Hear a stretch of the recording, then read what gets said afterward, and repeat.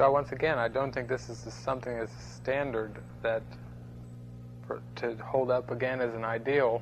I'm saying, oh gosh, I still feel, you know. But it's like I think once again, it's kind of like he's he's telling us just like he told the apostles, when I'm gone, there's going to be some trials and tribulations, and I I tell you this to help prepare you for it. You know that that I think he's just kind of giving us like the, the far ends of the roadmap, so to speak. This is this is how it's going to be. So don't be shocked if you have moments in your bliss and in your deep periods of meditation when you don't feel ill or well, or pain or pleasure, you know, when you lose all sense of, of feeling in the body. Because he's told us a number of places that the body doesn't really feel. The mind just tells the body what to feel. When the body gives up its judgments of the world and, and gives up its categories and its ordering of thoughts, then it no longer, you know, attempts to tell the body to feel pain or pleasure, because those both reinforce the body as being being real.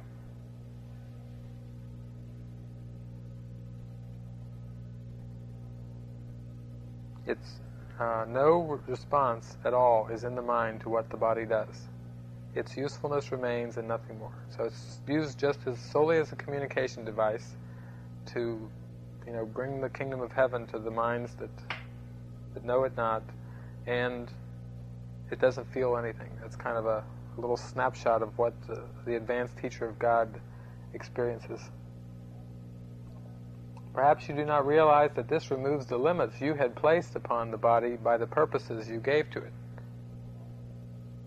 So all the limits you had placed upon the body, in other words, it's got to be fed regularly, washed regularly, clothed, housed, you know, all the things that, all the rules that you think you got to do to keep a body healthy can be removed. Those limits can be removed as you remove the purposes you gave to it.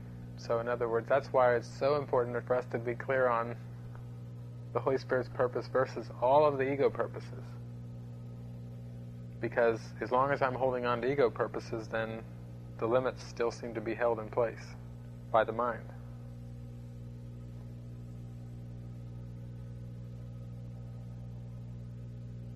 As these are laid aside, the strength the body has will always be enough to serve all truly useful purposes. The body's health is fully guaranteed because it is not limited by time, by weather, or fatigue, by food and drink, or any laws you made it serve before. You need do nothing now to make it well, for sickness has become impossible.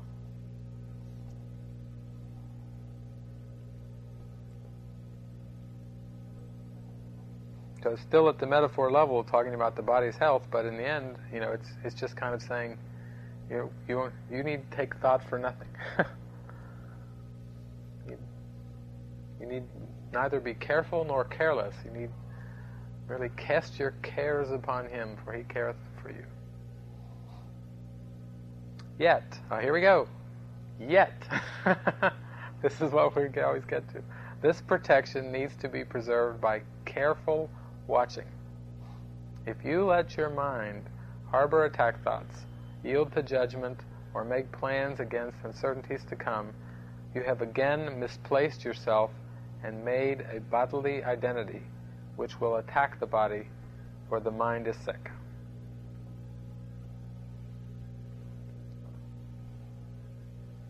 It's one of the clearest statements there are for, for why we have to be so vigilant with our mind watching. So that's those are just the causes of sickness. Yes. He's defining them specifically. Yes. That's why it's also when we get into these subtleties about attack thoughts too, is there are seemingly recognizable overt attack thoughts like thoughts of anger and condemnation toward your brother, but also thoughts of desiring your brother in a bodily sense are attack thoughts those compliments that we talked about, like, oh, I just think you have the best, you, your body's in such good shape, and you always have such a good weight, or whatever, you know, all those kind of things that focus attention on the body, you know, are attack thoughts. they aren't compliments; they're actually attack thoughts because because they're they're focusing on it. The the content below them is, you know, that you're a body and I'm a body, and I think it's great that your body, you know, has this advantage, or you keep it in so such good condition, or or whatever, or even the brain. You know, you can do the same with the brain about learning. You know, oh gosh, you you're such a learned person. I envy you, or you know, all those subtle things that in the world's eyes are are nice compliments are are attack thoughts when they, they draw attention away from the spirit and focus on a small bodily identity.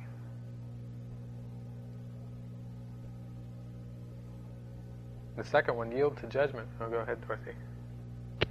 I found that people will say things like, uh, "Oh, you did a real good job, Dorothy," and I'll kind of say, "Well, I had lots of help, thank you," you know, and it's odd because lots of times they don't hear that, but that I accept that they don't have to. I hear it. Yeah.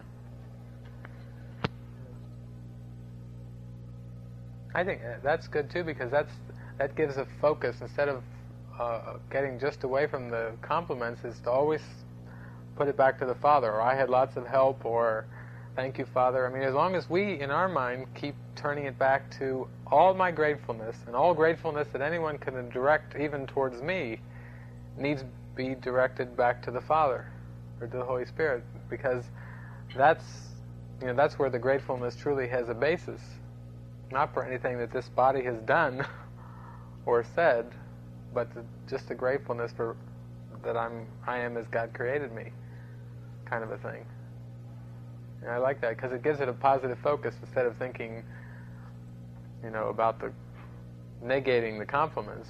It really just puts it where it belongs. yeah. yeah. I think this almost brings us back to full circle on our topic of listening too, because when you look at those three conditions that he's laying out of this preserved by careful watching, you'd have to have something to rely on or to truly listen to to to go along. Even I mean, if you if you let go of attack thoughts, if you if you don't if you attempt to not judge in any way, not to judge what what I should do, what I should say, how I should go about solving this problem and that problem. And the last one really is where the trust comes in too that you were talking about Beverly, you know, about making plans against uncertainties to come. It's just like a total giving over to the listening without any care or concern for anything. Because as soon as as soon as the thought comes in, I, oh, I must um, do this or else. You know, whenever it's based on on fear of consequences. I mean, that's what uh, most activity through the ego's lens, all activity through the ego's lens, is based on. Is it's a fear of consequences. Yes, I'll do this and this and this and this because I know the ego thinks that if I don't do this, and this, and this, and this, it's going to be trouble. That's where the coercion comes in, right? Yeah. Feeling that there are consequences to not doing. Yeah. In the end, you know, I feel that that whole section of "I need do nothing" is the is the key or the shortcut. I mean, in the end, you don't once the mind starts to to welcome that light and starts to see that listening is really all that that's about, then that I need to do nothing becomes the the shortcut or the most plain and obvious passage in the whole book, because then you don't have to, you can let go of even thinking about the body, about what I should do, what I shouldn't do. It's just the mind then is willing and open to just sink into that stillness and accept the atonement, accept the fact of, of what's there. There's no more restlessness about, oh, I have to tie up these loose ends before I can be still and meditate, because as long as the mind thinks it has loose ends to tie up, there's still a bodily identity. What, what loose ends in this projected world could there be, you know, to tie up? In the end, you know, that's why I feel this is a like it's more in line with the mystical path of of, of just going within. And that's been the traditional mystic path is just to turn within through meditation. And this is just a course in helping set the mind in that direction. That one, once it can see the value of that, that there's nothing of value, nothing that glimmers anymore in the world to hold it back, then what that's the obvious thing to do. Is to just go within. It's no longer wasting time. It's no longer unproductive, you know.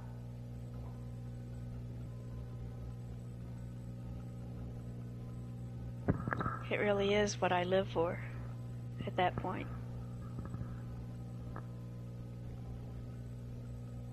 And that point is now. I mean, can you feel that? I mean, as we go into this, I mean, that's what always we we should just arrive at this calm, restful place of clarity.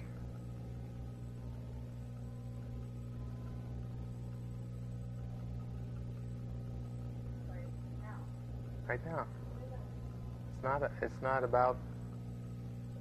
Well, I got another piece of the puzzle, and tomorrow I'll solve this and this. But it's like just there's such a contentedness and Oh, that's it.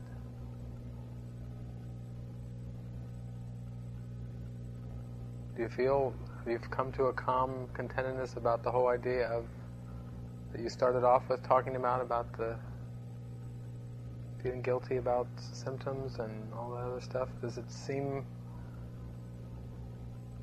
very different now that we've gone into this?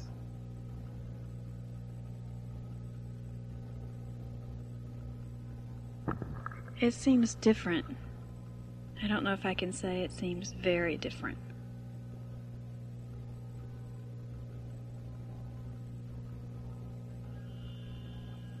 I feel like there's room for greater clarity still.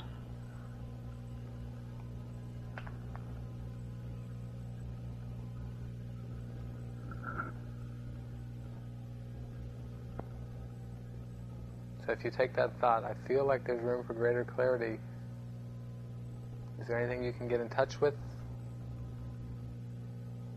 What's that thought?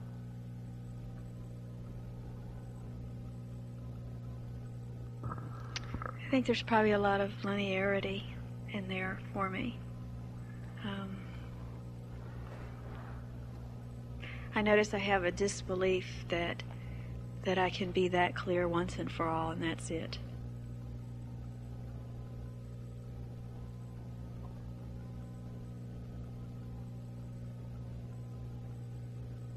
You feel like you've got lots of evidence as a witness in the past that against that possibility? Is that, is that what you mean by linearity? That Well, I, I guess what I mean by that linearity is um, that I don't believe that I can have all the clarity I need right now and remain in that state of clarity.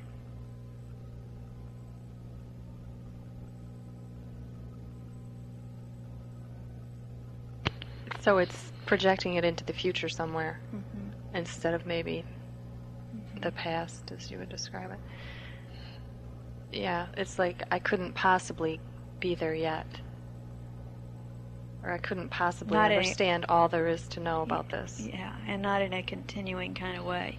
Maybe like it would seem like it, you know, for like right this instant, but It's sure to be gone in a half hour. Yeah, that's it. Yeah, it's, it's actually that same thing I voiced when we, you know, when I came to a real clear point when we were having a discussion about relationship, and and I said I, you know, I don't want to lose this.